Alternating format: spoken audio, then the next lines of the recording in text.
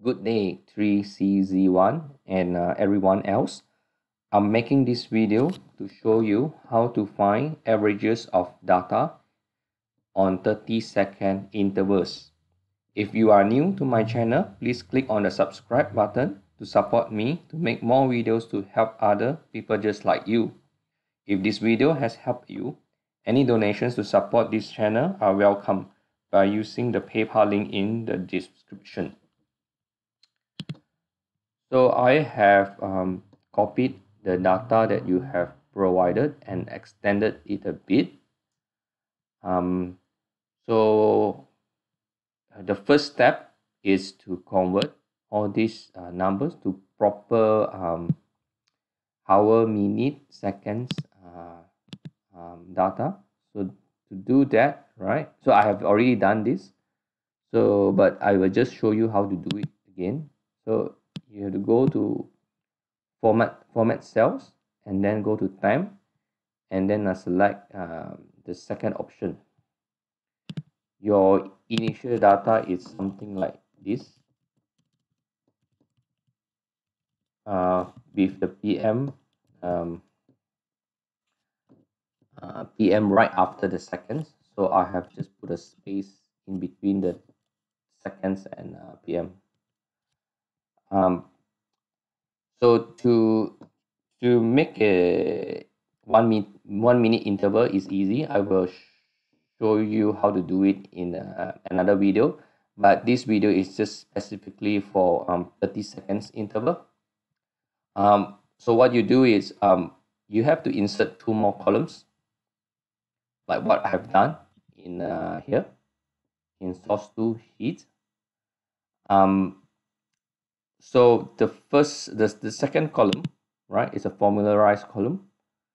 So what you want to do is um, average um, uh, sorry round round the um, time in uh, column one.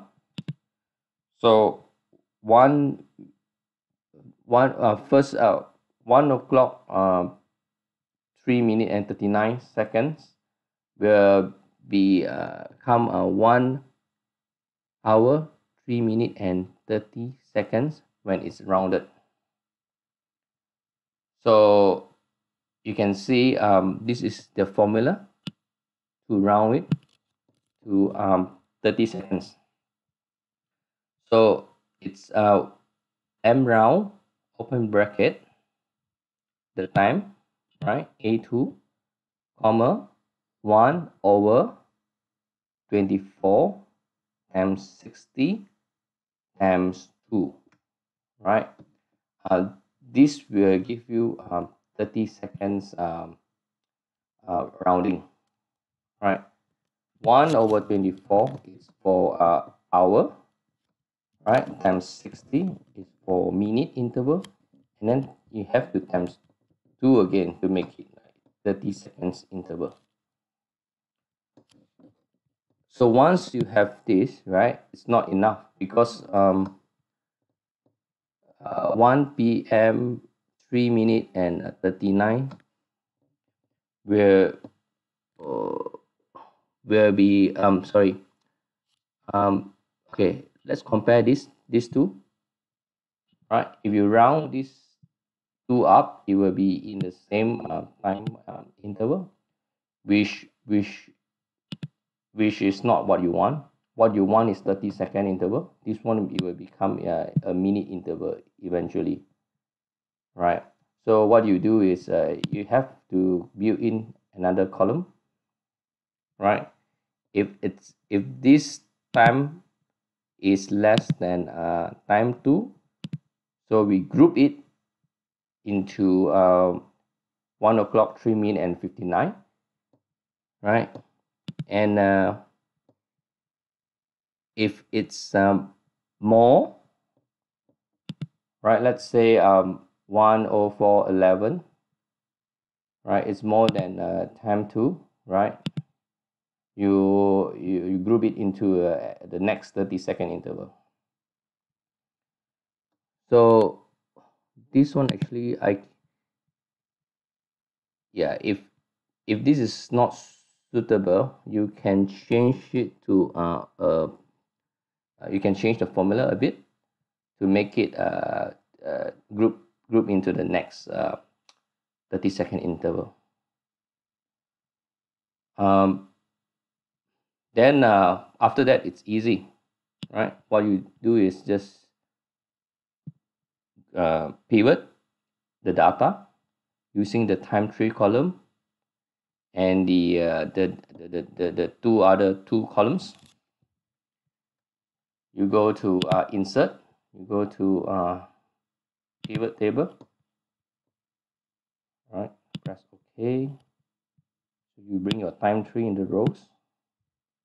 You bring your solar radiation. You bring your rainfall. Uh, what you do is just double click on uh, just one click on the solar radiation you go to value field settings uh, select average right?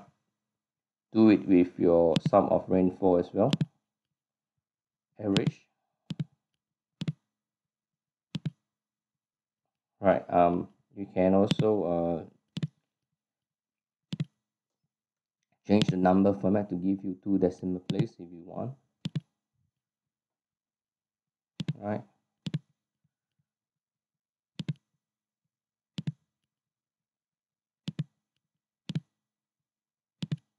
yeah. So um this is it.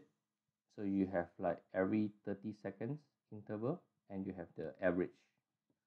Um i hope this uh, video has helped you. Please remember to subscribe or donate if that pleases you. Thank you so much. Hope this helps. Bye bye